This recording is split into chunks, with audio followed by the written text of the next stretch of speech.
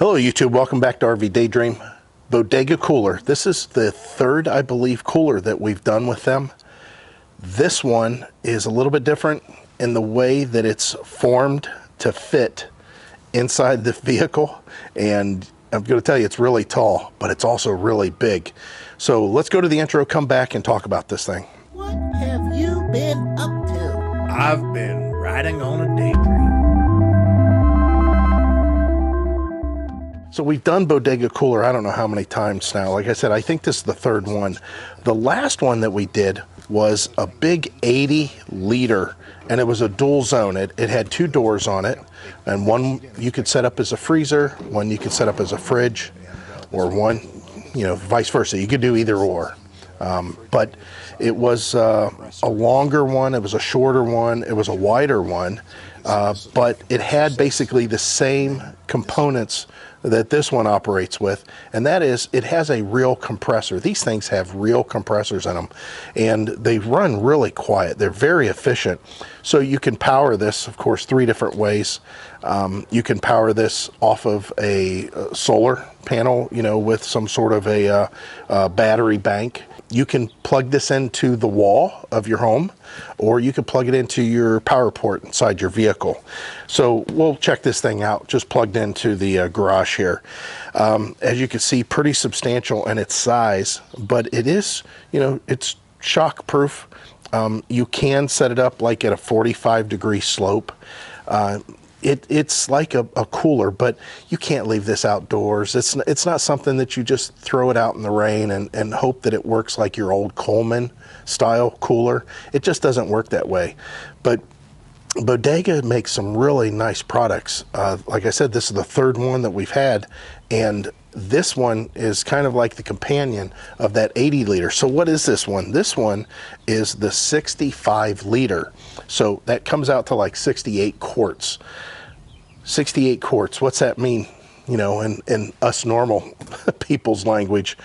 Uh, if we were to say partake in canned beverages, you can put 90 in here, 90.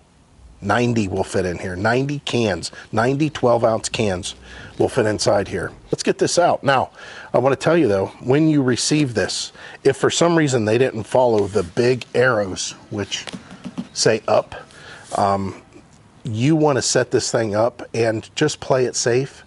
Don't rush it give it 24 hours. Let it set upright for a full 24 hours before you plug it in. Because if this thing is laying on its side or on its back or upside down or whatever, uh, that oil that's inside the compressor, because it is a real compressor, that'll be somewhere other than the compressor when you start it up and it'll burn it up. So once it's out of the box, it looks a little bit more impressive when it comes to the size. Uh, and what I mean is, I'll tell you what, that box with that extra packaging that they have in it uh, really made it seem like it was almost going to be unwielding as far as its height. But now that it's out of the box, I, I feel a little bit more comfortable with this. So what are the dimensions on this exactly? 23 inches on the height. Now that, that's going to be something that you have to be concerned with if you have like a tonneau cover or something on the back of your truck. Like we had a flush mount tonneau cover on the back of our F350, and I know that the bed rails uh, on that weren't very tall. Uh, we couldn't fit a generator that was over 19 inches under that low profile flush mount roll back style tonneau cover. Now, a normal tonneau cover, like I have on this old uh, winter beater F-150 that's in the garage, uh, that sets up on the bed rails. That one, there's no problem with that. Uh, but 23 inches in height, and as far as from the uh, the length from corner to the uh, other corner there, you're looking at 27.2 inches. Of course, that's the longest dimensions, and it's 16 inches from front to back, or as you're standing in it to open the door, it's it's let's just say 16 inches. And again, this is a 68, 69 quart, um, which is 65 liters, and it that's substantial. It's very substantial, but it is a one zone. This is just one zone. You don't have, um, you know, different sides. You know, one refrigerator, one freezer. not a big deal because usually um, you're not trying to necessarily freeze everything. Uh, you, you know, whenever you go camping, you put ice in a cooler and you put your frozen stuff in there. And even in the front, it says if the food needs to be frozen, it should be stored inside this product for at least 20 hours for the best effect. So place the food in the refrigerator for at least 12 hours before placing in this product. And what they're saying is don't go to the grocery store and buy yourself hot products or products that need to be frozen and expect this to, to do the job. This is to maintain what you have. Now, over a long period of time, it will freeze. So you can't put your fruits and vegetable in here and set it on its lowest setting, which is minus four degrees Fahrenheit, um, and expect this thing not to freeze things because it will. But in an eco mode, this thing will run at you know 32 degrees uh, Fahrenheit, which that's that's pretty good. That's you know just normal cooling speed.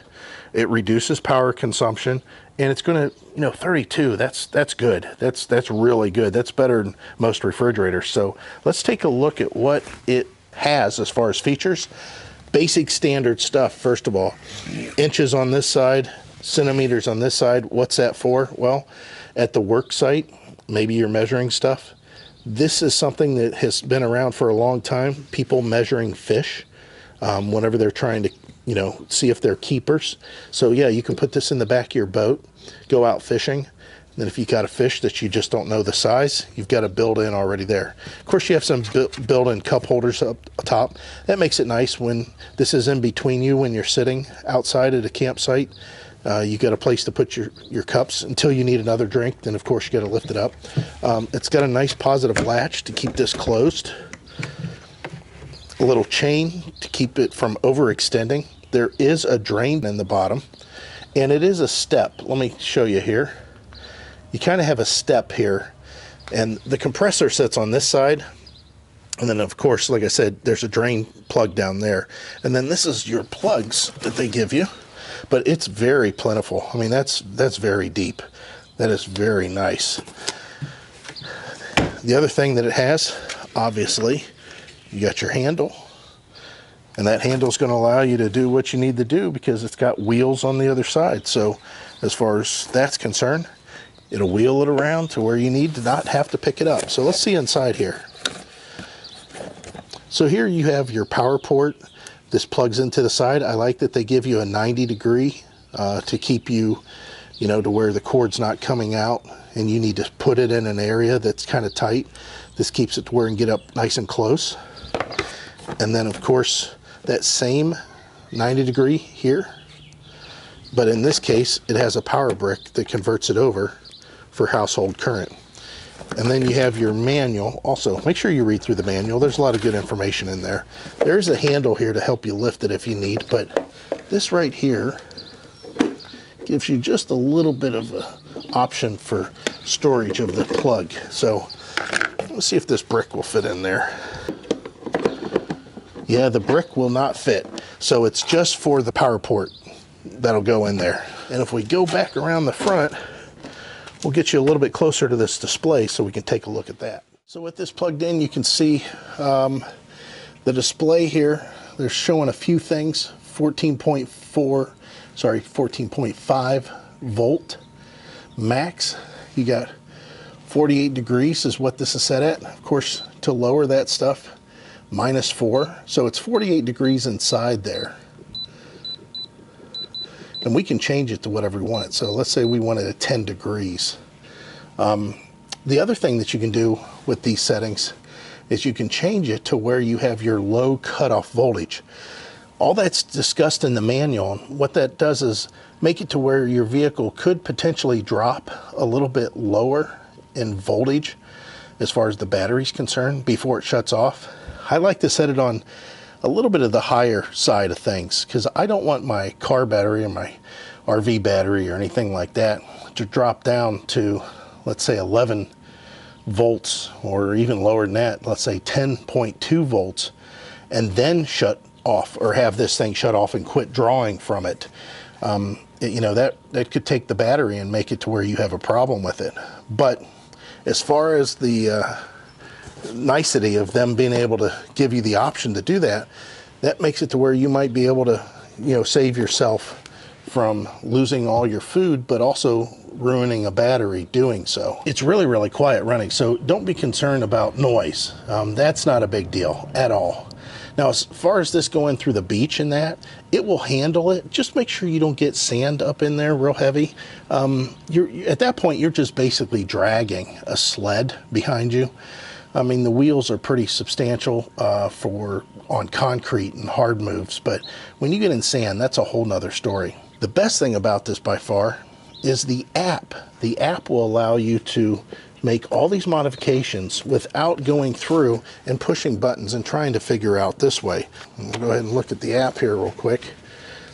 That's it. You, you've got the current temperature. You can set it with that slider to what temperature you want it to be at. You can lock it so that nobody can fool with the display, your kids or anything like that, pushing the display and changing the temperature by accident. That could be horrible.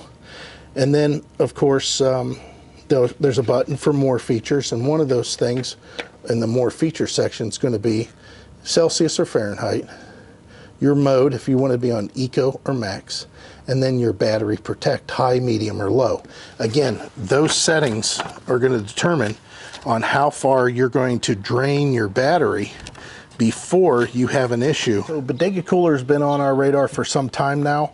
Again, this is, like I said, the third one that we've reviewed from them, and I'm really impressed with the quality that they put out. These are substantial pieces that you want to use as a family when you go RVing, when you go camping, especially tent camping or tailgating or boating.